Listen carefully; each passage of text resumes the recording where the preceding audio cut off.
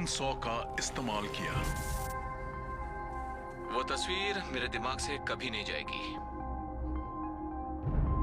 उन पाँच नौजवानों में से सिर्फ़ एक लड़की ज़िंदा बची सैली हार्डेस्टी जिसने पुलिस को अपना बयान देने के बाद उस खौफनाक हादसे की चर्चा दोबारा कभी नहीं की। उसके बयान के आधार पर पुलिस ने खूनी की एक तस्वीर तैयार की।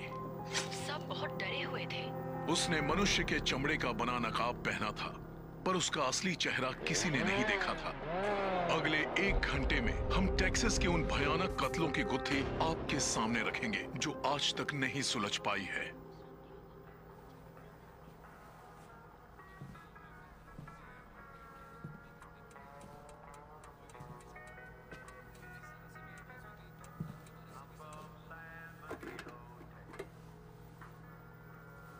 ओके okay, उन्नीस डॉलर हुए।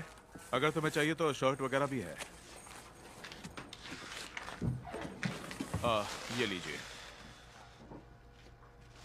इस लड़की का क्या हुआ? अभी भी ज़िंदा है क्या? वो टेक्सास में रेंजर का काम करती है। तीस चालीस सालों तक वो उस हत्यारे को ढूंढती रही। तो क्या वो उसे मिला? उसने नकाब पहना हुआ था। जब ये पता ही नहीं कि कोई कैसा दिखता है तो उसे कैसे ढूंढेंगे? ओह तो तुम यहाँ हो। हाँ और कहाँ जाऊँगी? हे देखो मैंने क्या लिया है। ये तुम्हारे शैंपेन के लिए काम आएगा। शैंपेन के लिए कॉक्सरू की ज़रूरत नहीं है। अब चलो बस निकल अगर तुम्हें एतराज़ ना हो तो बता सकती हो कहाँ जा रही हो। आ, हार लो ओह सुना है तुम्हारे बारे में। अच्छा? सिर्फ़ मैं ही नहीं सब जानते हैं। कोई बात नहीं मज़े करो। थैंक यू आ जाती है गंध मचाने चलो।